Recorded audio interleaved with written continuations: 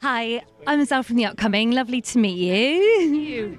So, Pat, I like your coat, by the way. It's getting a lot of love today. I've rented this for the evening. really, it's good. Thank you. And so, perhaps you could start by telling us a little bit about the character that you play in in Landscapers. Yeah, so I play Detective Constable Emma Lancing, who is basically. Um, on the hot on the heels of uh, Susan and Christopher, she's kind of got a sniffer dog instinct for the truth, and she is gonna she has got her spidey senses out, thinks they're guilty of murder, and she's going to pin it on them. That's Emma, basically. and how did you go about doing your research to play this part? Well, I started, you know, before the later drafts. I think my phone is going. Sorry, it's not real. But um, I started looking at documentaries. Uh, there's one called The Detectives, which is a great one in Manchester, and I watched 24 hours in police custody just to get a sense of how real people speak police talk.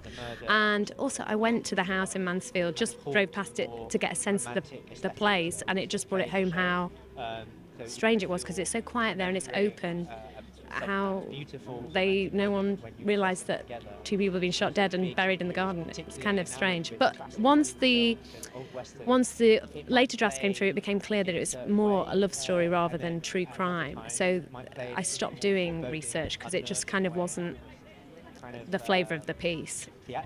Yeah, maybe did a little more emotion into it with the effect of a love story. Yeah, it just it was a different tone. It like true crime was the jumping off point. So it just felt it was more important to get a sense of the world and to be really Will was really clear about the function of her and just to play the counterpoint uh, and the reality of the fact that two people murdered against this incredible love story fantasy thing. Yeah, just to balance it.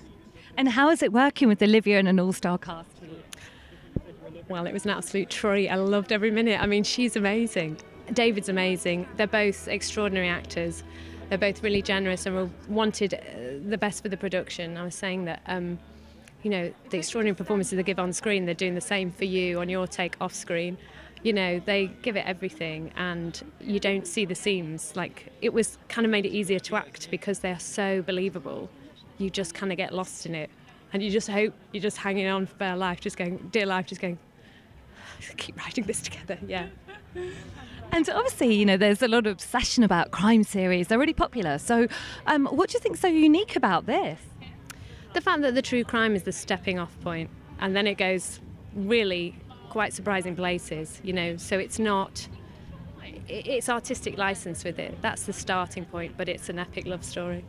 And I think that's what I loved about it. It's like Ed got the facts of the case, found out about this case, and he goes, "Yeah, well, it's clearly a love story. you know, it's like it's got an interesting angle, and I, I, I really respond to that. And I think the fantasy elements are fantastic in it, and we're involved in some of those too. Yeah, have you seen the episodes? No. Only seen the trailer. Okay, well, yeah. I mean, Emma, uh, Emma and Wilkie and uh, Douglas maybe pop up in a few of those, invade a few of those fantasy sequences, and I think that's probably there, so that the audience are never totally allowed to forget that the reason we're all here is that two people were killed. So you know, we're just constantly trying to anchor, anchor those guys in the truth of what's happened. And what do you hope viewers will take away from this? I just hope they relish the storytelling and relish the journey that they go on, which and and look forward to being surprised. She has uh, her spidey senses out basically for um, Christopher and Susan. She thinks the Wycherleys are murdered. She thinks they did it, and she's going to pin it on them. And she just goes hell for leather with that. Basically, she's she's sniffing them down. Everything about it's singular, from the characters of Christopher and Susan to the story itself, to the way Ed approaches the story, which is a surprising angle, and then with Will, who's just so talented, uh, with such creative vision. Everything about it was distinctive, and that's what I was excited about.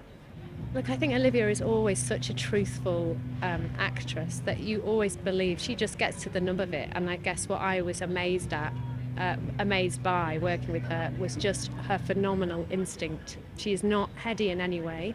She can be chatting or having a laugh. The camera goes on, and she can access anywhere on that emotional landscape very quickly. She's quite extraordinary. Yeah. I didn't really think about the comedy, to be honest. I guess the key was just to keep it straight, keep the guard up, and keep. Uh, uh, and I guess there's something about that Nottingham sensibility that's like no bull, like just going straight for it. Um, I didn't need to, didn't feel the need to get in any gags there because it's in the writing. So it was just playing the scene. So I actually didn't think too hard about the comedy. It's kind of already there.